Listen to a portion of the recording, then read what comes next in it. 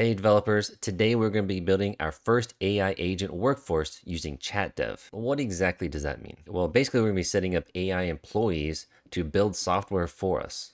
I'm going to quickly explain how ChatDev works, how to set it up, and then at the end we're going to run this little web app and we're going to build our own software. And each of these AI employees, I'm going to show you how they interact with each other to build our software. It's pretty cool stuff. Let's get started. There are three components to ChatDev. There are roles, phases, and chat chain. The roles are really just the AI agents or the employees that you want to hire for your software development team. You can have the CEO, a marketing director, a programmer, reviewer, a code tester, art designer, whatever it is that you want. But these are where you're going to define your AI agents to develop whatever it is that you want. Next, we have phases. This is the stage or task that you want to give to each of your AI agents. In this example, we have a language chooser. So we're going to tell a programmer and code reviewer hey, when it comes time for you to do something, we want it done in Java, Lua, Python, or JavaScript, whatever it is. And the third component is chat chain. This is really just a configuration file that tells all the AI agents what tasks to perform and in what order. For instance, you might want to start off with demand analysis, which could have the product owner and the CEO talk together and talk about how we are going to build whatever the software is. And then it will go to the programmer once they decided, and the programmer will start developing that software. It'll go to the code reviewer, it'll go to the tester, and you can tell the tester to leave comments and the programmer what they need to modify uh, based on the requirements of the software. And you can tell them a certain number of iterations to go back and forth with each other till they get it right. And then at the end, you have your built software. Here's some examples that come with it. Here's a currency converter. There's a very simple home designer application, create your own MS Paint software, and there's also ping pong. Let's get started with the setup. Uh, the first thing is we're gonna go to this repo, which I'll have in the description for ChatDev.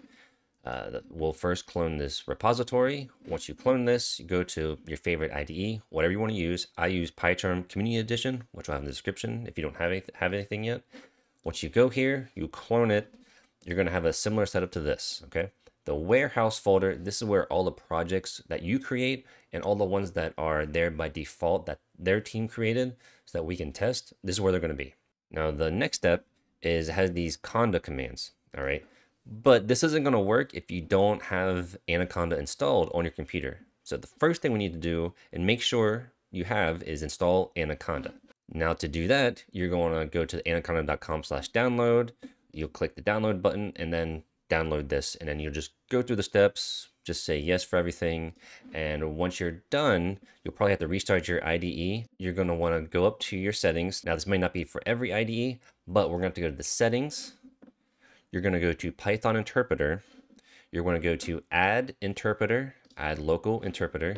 And then now this Conda environment, this is now going to be here because we have Anaconda set up on our system. You'll just want to make sure use existing environment is still checked. You click OK, then OK, and you're done. Now you can run these commands. So you'll take the first command, conda create. It's going to run all this for you. It might take a minute. And then it actually already has the second command for you here. So you just copy that, conda activate, and we're good.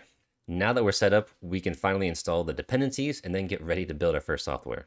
You'll probably be in your main project folder now. So the first we need to do is cd into uh, the project. So cd chat dev test is mine. Yours will probably just be ChatDev.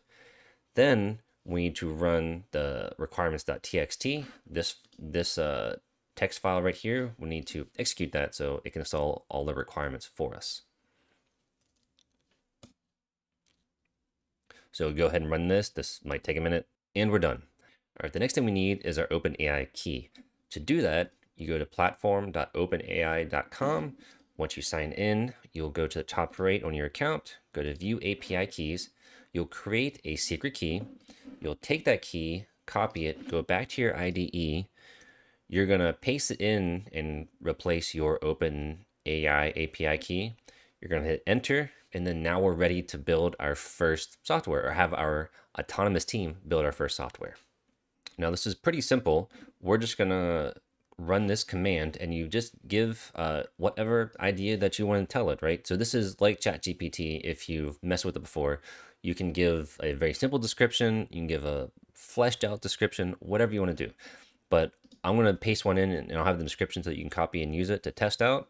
So you give a, tell it what you want to create, tell your team, your AI team, what you want to create, and then you just give it the name of your project.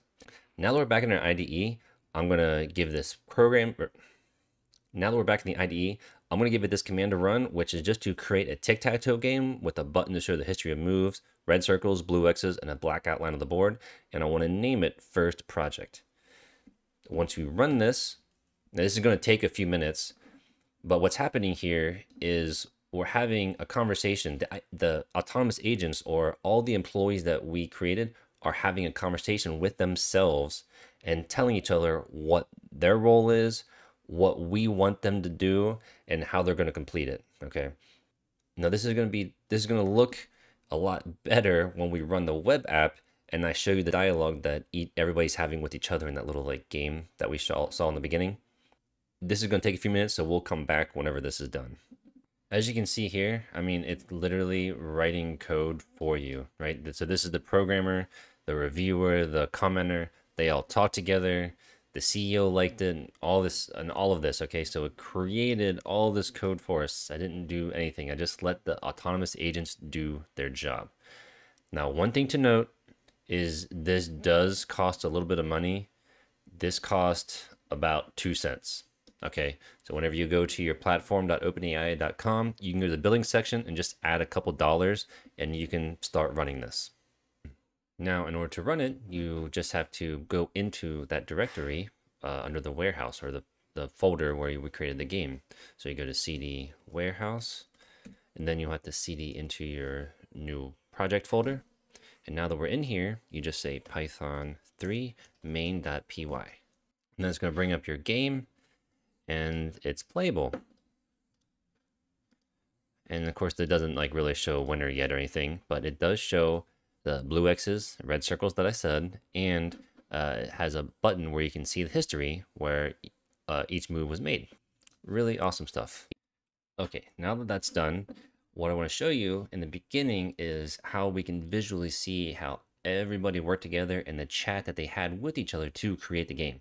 So in order to do that, you go to lo this local demo. It's just going to create a Flask app for you, which is a Python web application.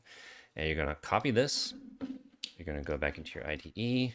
You're going to run this. Now, all you have to do is go to your local host, which I already have set up here. And you're going to go to chat replay. You're going to go to file upload. This is, uh, I'm, I'm already in my project folder, but when you go to your project folder, there's a log file that you need to click. So you double click that.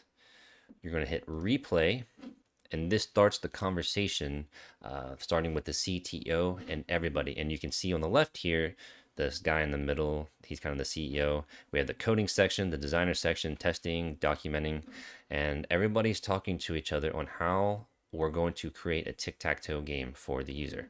And now the programmer here, as you can see, he's starting to actually write the code. And this is really amazing because once he writes this code, then we're going to have the reviewer check it.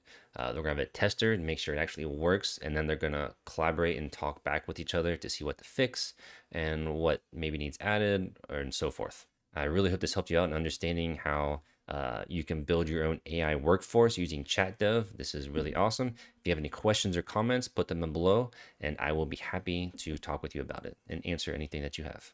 I'll see you next video.